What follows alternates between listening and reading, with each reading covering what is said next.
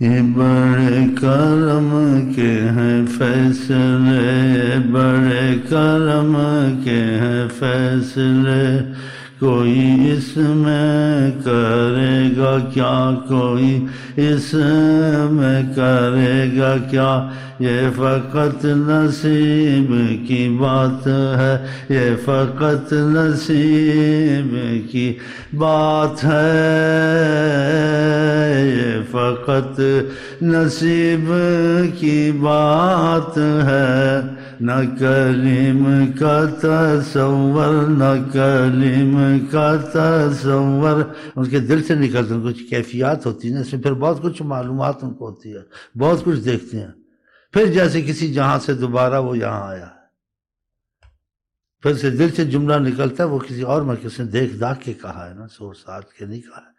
تم سوچ ساچ کے تصور کر کے کہتے ہو کیفیت تمہارے اندر ہوتی نہیں تم دل سے نکالو نا اپنے وہ خباستیں ساری۔ دنیا کی محبت، دوسری محبت، ڈیئر کی محبت، فلانی فلانی۔ وہ نیت سے نکالو نکلنے کی نہیں، کہ نیت کر لو، خدا نکالے۔ جو مریض سچا ہوتا ہے، دوا کو چھوڑتا ہے، علاج کو چھوڑتا ہے، ڈاکٹر سے رابطہ چھوڑتا ہے۔ اس کے صحیح ہونے کی امید ہوتی ہے۔ وظیفے بھی دل سے نہ پڑھنے ہاں جی۔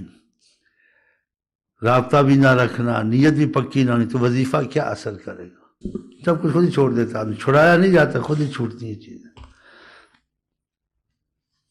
چھڑانا نہیں پڑتا، خود ہی چھوٹ جاتی ہیں۔ آسانی سے۔ سب سے پہلے نیت ٹھیک کرو۔ نیت ٹھیک نہیں، پڑھنا پڑھانا تمہارا چلے گا نہیں۔ چاہے رات دن وظیفے پڑھو، قرآن پڑھو، حج کرو نیت کا خبیص ہے، نیت ٹھیک نہیں ہوتی۔ نیت نیت، یہ نیت ٹھیک کرو۔ باقی ٹوٹا پھوٹا پڑھنا چلتا ہے پھر۔ نیت ٹھیک نہیں، ساری عمر کا ایک فائدہ نہیں ہوتا۔ افو تو ہو جاتا ہے، لیکن جو چیز چاہیے اس کو وہ نظر نہیں آتی۔ تو پھر تبدیلی کیسے آئے اس میں؟